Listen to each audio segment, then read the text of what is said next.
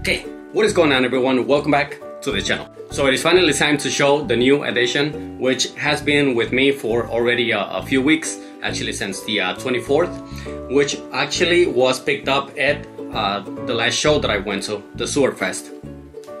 Now obviously you guys know by now that uh, it is the female Pictus gecko. Now some of you might remember that I already have the male so I was interested in getting the female. Now this doesn't exactly mean that uh, I will be uh, breeding them especially not this year that's not for sure but maybe next year.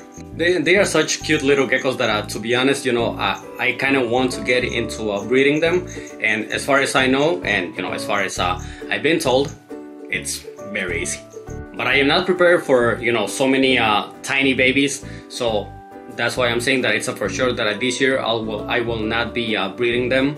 Maybe next year. But of course before showing her um, I you know I do want to say you know obviously where she came from. So okay. So same as crispy uh, bacon. So now I got crispy bacon. Ha ha ha uh, she, she also came from Supreme Gecko. So, you know, I have already talked to, to Wally a lot, uh, you know, about getting some geckos from him because, you know, he's been very supportive of my channel. So if I'm interested in a gecko that uh, he's working with, then I'm going straight, you know, to him. So you know this is already the uh, the second gecko that I get from him and you know I've been getting a lot of uh, isopods from him and you know of course now this shirt. So you know I I definitely recommend for you to look into you know you know everything that he breeds because you know obviously uh, um, he might focus a lot on on Pictus gecko but he breeds uh, many different species of geckos you know including crest geckos and you know some other species and maybe I will be getting one more gecko from him, but not a Pictus gecko, a different species. It's not a for sure yet, but most likely. But anyways, time to show Bacon. Alright, say hello to Bacon. So this is Bacon. Uh, she looks like she's about to jump and you know, these are not flying geckos. Uh, so yeah, hopefully yeah, she doesn't jump. But look at how, how small she is. Man, they are so freaking cute.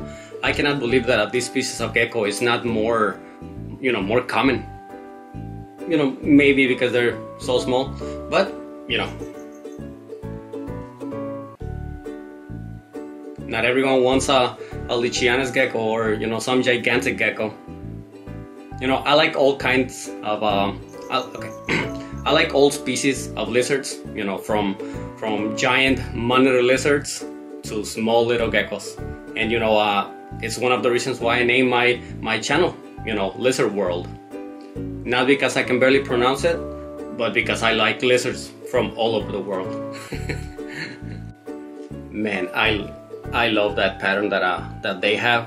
So so as you can see, uh, you know, this is a different pattern as crispy. You know, crispy is uh, I think it's called a stripe. That is like a, a you know one straight line or stripe you know basically from from the uh, from the neck all the way to the tail and this one is banded which you know is exactly what I wanted and as you can see man this these geckos are, are very uh, very easy to handle. You know they they are they are shy in their setup but you know uh, once you pick them up as you can see you know they're not they're not trying to uh, okay. You know they're, they're not crazy like trying to to jump or something. Now this doesn't mean that I, you know, I want to be handling her uh, too much because uh, as I said, you know, they're not flying geckos. so I do not want her to, to actually jump or, you know, for me to drop her because with how small they are, you know, if uh, if you guys get one or you decide to get one, if you're gonna handle one, make sure that it's sitting down or in a table, not, you know, standing.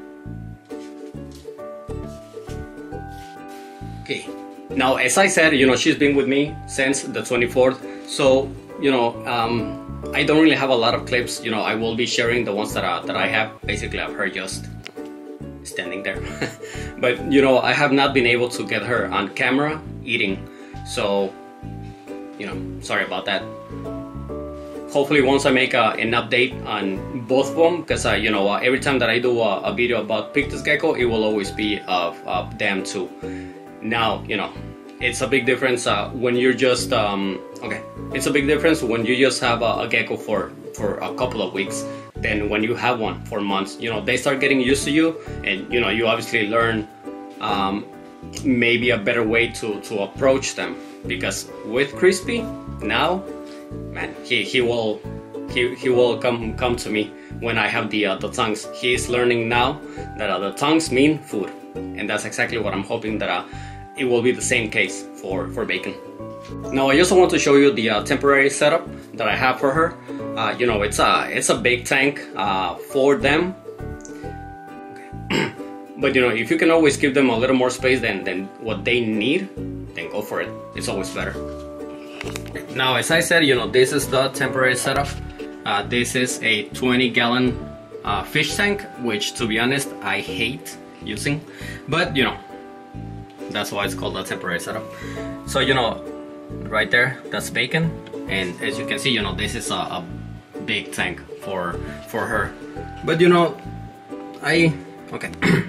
but I but as I have always said, you know, I prefer to have you know just 10 or 20 lizards instead of 100 and to give all of them a little more space than uh, what they just need so this is basically the uh, the basking spot which you know they actually do bask uh, not every single time but okay maybe not every single night but to be honest I don't know because uh, you know I don't see them uh, all every single night now it is set uh, 292, but you know I, I took this out uh, so I can so I can graph her. So you know it's showing a different uh, temp at the moment.